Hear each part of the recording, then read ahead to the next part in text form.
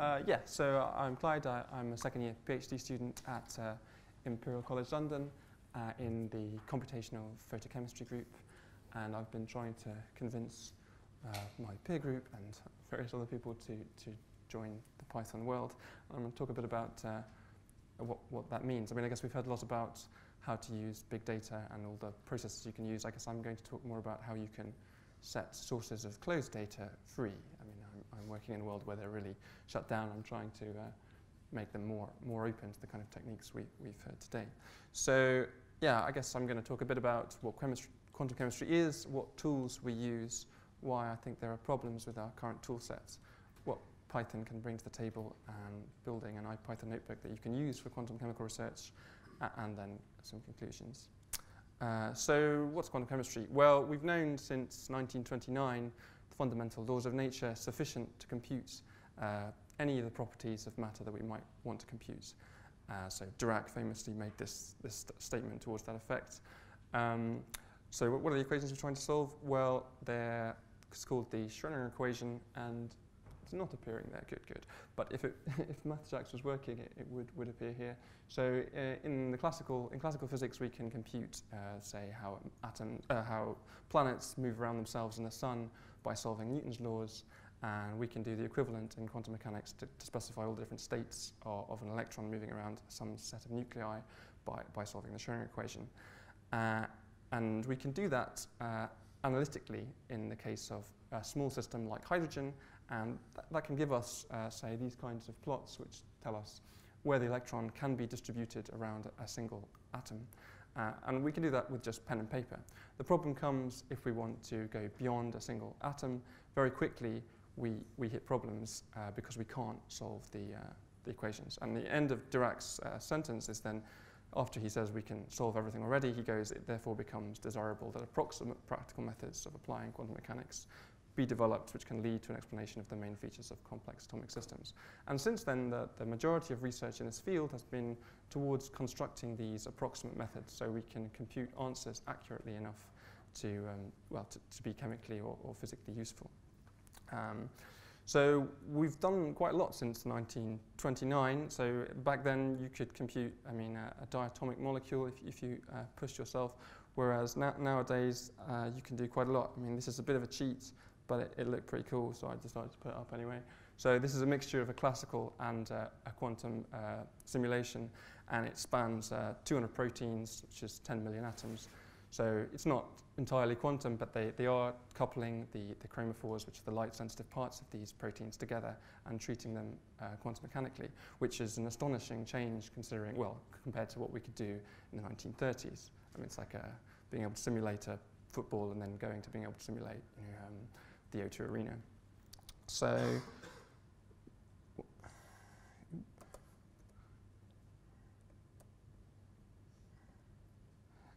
So yeah, we've developed many different methods to do this because it's, it's, pretty uh, uh, old field.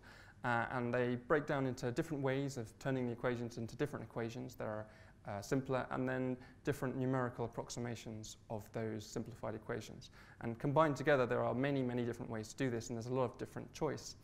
Uh, and that's kind of built into a lot of different programs. I mean, there are new programs being built all the time, but some of the biggest that are used uh, today are stuff that began life in the 60s. And this is a tiny subsection of them. They just happen to be uh, the ones compatible with a, library I'm going to use later. Um, and yeah, in, in academia, at least in, in the field that, that, I work in, it's the large ones in the 1950s that dominate, primarily because the number of man years of development that's gone into them mean that they have more methods and they can do more properties than, than other, other codes. Uh, and that's great, but the problem is that they're designed with a mindset from another era. Uh, I mean, that they're completely out of touch, in certain respects, they're completely out of touch with, with our, our modern uh, tool set. I mean, in fact, if you look at the source code, as I have, you, you still see it's, it's written in Fortran 77 as if it's being computed on punch cards, and it's littered with go-to statements and other things that make modern computer scientists cry. Um, So yeah, th that's the code itself. And when it comes to running these things, uh, well, what, what, people do is that they write text files out. You know, and they can be simple. I mean, this case, there's just uh, two, two atoms, uh, a dimer, and it's choosing, uh, it's specifying the coordinates, and it's specifying the method and how much computer power to use. And that's not so bad. But it can also be evil. I mean, you can have to specify horrible machine codes that you have to look up deliberately. Um, I mean, you have to consult people for you need to specify numerous parameters for thousands or in some case hundreds of thousands of atoms. Uh, I mean, that's what's going on there. Then they specify the connectivity between all the atoms, uh, parameters for force fields you're going to use. If you had to do this by hand, it would be almost impractical, well, impractically impossible. And um, fortunately, there are some tools to do this, but uh, and without them, you wouldn't be able to do some of these calculations. But they're really imperfect tools. Uh, they, they're incomplete. They don't cover all the functionality you, you could use the program for. They're closed source, or the most effective and commonly used ones are closed source. They're not extendable. They're not scriptable. Uh, and they cost a lot of money. So we should be doing better than this in, in, in 2014. Uh, and, and, yeah, the, though the, the programs themselves, I mean, in, in, the case of the, the main ones, they have decent documentation. Certainly Gaussian, which is the one I'm going to talk about, there are lots of clever uh, machine codes you can put in to, to make your calculations more effective, but the documentation doesn't exist. I mean, the only way to find out how to do this stuff is to go and apprentice with some, one, one of the old gurus who knows how, and then you, know, you try and do tasks for them in the hope that they give you the secret knowledge to, to do the calculations you want to do. So yeah, well, this is, this is great. I mean, this is a, a, schematic and its details are unimportant, but I was handed this when I started my PhD and it was like how to do one calculation on a protein. Uh, and it's all like use this program to prepare this part and then take the input file and edit it by hand and then copy this bit from this other. It's like six different programs and hand it. It's, it's crazy. Um, so once you have your, you've created your input file, you, you submit it to a, to a cluster and, and away it goes. And what you get back is, in fact, another text document, which is as difficult to, to cope with as the input file, in that it, it's basically the, the debug output of, the code whilst it's running. It prints out all manner of different details. Um, I mean, this is a small section of it. It doesn't look too bad, but is completely non-standard. So, so, for instance, if you want to calculate the energy of, of a, a set of molecules and you use one method. You might think if you use another method, it's going to be in the same place and be the same line. No, no, no, it's not. It's going to be somewhere completely different. It's going to look completely different. Your, you know, the st string you're going to grep for one is not going to work for the other. I, if you're lucky, you won't be able to grep, you know, if you're lucky, you can grep it. If you're not, you're going to have to write a custom awk script to pull it out. Um, so, yeah, th there is a bit of machine readable data in, in, these things at the end, but it's incomplete. Uh, and there is also another machine readable output, um, which is its own close, its, its own separate uh, format, but it's reasonable. Um, you can turn it into, you can read it pretty easily, but it doesn't actually include all the information. You can't, you can't get away from these hideous log files. Um, so, so yeah, that's what people do. They, they, they build these things in, in a complicated tool chain. They, sometimes you can visualize a small amount of the data with the GUI, but generally people will either open the things and copy and paste into Excel the, the calculation data they want, or if they're sophisticated, they'll write custom bash or shell scripts for their individual use cases. Uh, so yeah, th this is kind of the workflow that, that they, they adopt. They, they build their molecule, they build their input file, they build the job script to submit it to the cluster, they submit it to the cluster, they look to check if everything's okay. If it's not, they change something. If it, looks okay, then they, they apply their custom script to pull out the data, which they then you know, use to, I don't know, some, some plotting library like XMGrace or Gnuplots to, to plot. Um, and it, they don't have any real, well, the, the, there's no standard way to have a record of what you do. People have their own ways of keeping notes. But on, on numerous occasions, people will come back to previous calculations that worked and, and not keep track of this process, that this iterative process they've used to figure out how to make a calculation work is, well, if they're, if they're good, they document as they go, but there's no standard way to do this. Um, so, and, and that ref that's reflected in, in the literature. So when people report the calculations, they normally report uh, you know, the, the output of this iterative process. So they make the calculation work and they give you an overview of how, the kind of commands they've done. But if you want to come and reproduce it yourself, there can be lots of hidden gotchas that they don't include little machine code changes they, or li little IOP codes they've put in or something that meant their initial calculation failed and they did all this extra stuff, but you don't know about that because they haven't included it in the literature. And they haven't included, sometimes you get input files, more, more likely you get a load of strings. You get a load of text files with some, some numbers representing structures.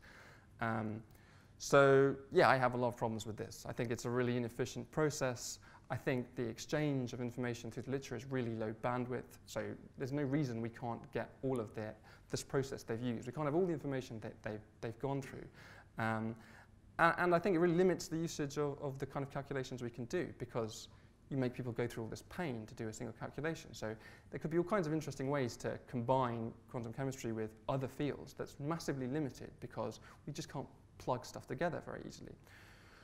So how can Python help? Well, we can, we can sort this out with, with a glue language like Python. We can replace these medieval practices of writing elaborate text files and, and reading aneurysm-inducing output files. Uh, and we can run all of our calculations, if we wrap it in this way, inside a notebook. And that way we've got a kind of curated store of our, our research process, uh, which we can, we can share with other people. Um, so, so that's what, what uh, um, a lot of other people have been involved with, and, and, and I have too. So I'm going to talk about some of the, the libraries I'm going to use, uh, mostly this, this ASE, which is this atomic simulation environment, which these guys in, in Denmark have set up to try and to do this and to combine a lot of these ab initio codes in a way that can be talked to in a systematic manner.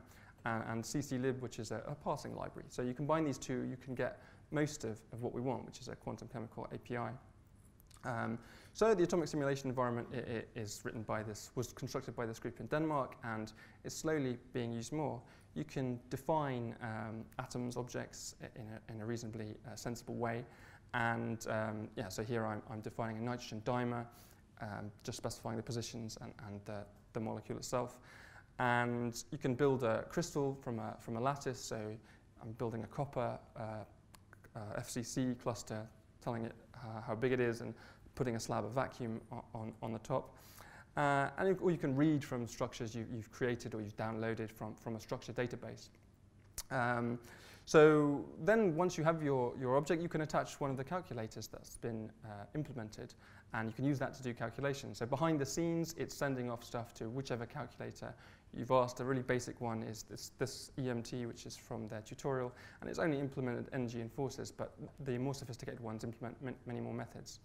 Uh, and then you can use it to compute energies or to do other more interesting things. I mean, the philosophy tends to be to write small scripts that make use of the calculators to uh, compute specific properties, and then ASE's own machinery is used for like optimization.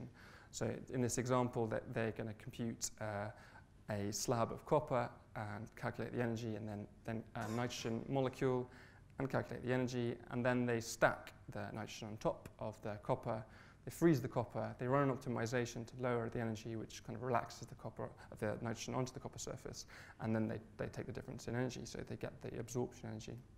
Um, and they don't have to do it by hand, and they have this, this, nice, this nice way of doing it. Um, and the CClib is a, a, library for parsing. It's been implemented uh, since 2008, and they, they, have a lot of the major codes uh, that you can just yeah, you can just slot, slot it into their parser and they handle lots of the, all the horrible use cases that, that uh, all the horrible formats that the, that the, the uh, legacy codes give you. And they're constantly, of course, having their parsers broken because the, the, these people don't really cooperate. They just change it randomly. But there's enough of a community going that they fix it. So usually your parsers are working. Uh, and then you, yeah, you have your, your format in, in a nice uh, an array or some other um, machine readable format.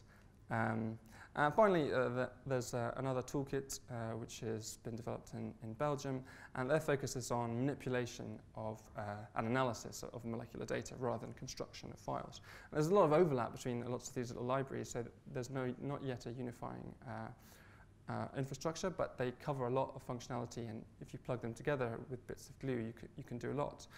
Um, so in this case, they're, they're defining the molecular graph. So how you're going to bond your atoms together, given that you only have uh, positions of atoms. Um, they also have some the parsers for the machine readable components of the specialized machine readable file. So plugging this all together kind of gives me uh, an overall API. And then, of course, the IPython notebook, I want to run it inside that. I guess you guys all know what that is.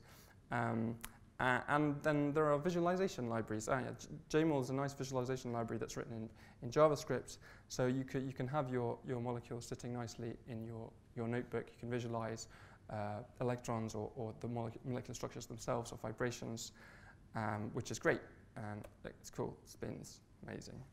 Um, so, uh, yeah, and then, so the, uh, the glue code I, I, I, was trying to add to this is just a way of uh, operating over SSH, because I want to run calculations from inside uh, a notebook somewhere away from the cluster, and I want it to handle it itself. When, so when I tell it to go calculate some property, it's going to go away, it's going to submit stuff to the cluster, and it's going to give me back the answer. So in order to do that, that's a slightly change in the, in the usage uh, of some of these libraries. I picked up Paramiko and, and PBS library, uh, and I basically stuck them together in, into some glue with some, some JavaScript. So yeah, so in the combination, we can make this quantum chemical API, and by using the notebook, we can kind of create this kind of curated research output that could be shared really effectively with other people. Um, so what does it look like? Well, it kind of looks like this. We, we import the, the, the whole thing, and we can, we can run stuff dynamically um, fr from where we are. So I'm, I'm reading in a, a, molecule of uh, graphene in this case. I specify the methods I want to use and the amount of uh, cluster space I want to use. Uh, and then, then I submit the calculation uh, and I do it with two different variants because I'm interested in what's happening. And when I get back, it is a kind of uh, a table that looks like this, telling me what, what and what's not. Uh, and in the actual thing, I can, I mean, because I'm in this HTML slides, I can't click on these things. But when, if I want to look further into the, the actual output, I can link it to any number of different programs. I can link it to just an editor or, or some other program to, to analyze the, the individual data uh, itself. But most importantly, I have all of it in a, in, a, in a format that I can access. I can loop over, I can, I can send it to, to something else. I can collect a million of these calculations and then send them to, to one of the libraries or one of the techniques we've, we've seen today. Um, so yeah, it's just a, a, a, dipole moment, so a charge um, distribution. Um, so yeah, you can use it to do in, in one step what, what one of the previous, uh, that previous optimization step with ASE took the script because we have wrapped the whole of the, the calculator. We're not using any of the, the internal machinery. We can do it in just, just one line. Um, and most importantly, you can do like really complicated stuff or, or, stuff that would be a real hassle to do if you were writing stuff out. So what, what I want to do here is I want to um, take uh, a reaction between two molecules. I want to find how it's going to react and then take sequences, snapshots along this, and for each snapshot, compute some vibrational property and, and then plot that. Now, if I had to do that by hand, well, I could write out the first two calculations by hand, but then I'd have to wait for the output to, I'd have to read through the, the output and, or write a custom script for this particular use case, pull it all out, individually put it in different files, run those individually. It, it's a pain, whereas in this format, it's really simple. I can just, I, I just define them sequentially, and then I can loop over the subsequent uh, snapshots, and run the new calculations. And yeah, in, in, in know, eight lines or so, I have done everything I want to do. Uh, and then yeah, then I can plot it because I have, I have it. Um, this is one of the vibrations along these snapshots. So it just makes life uh, much easier.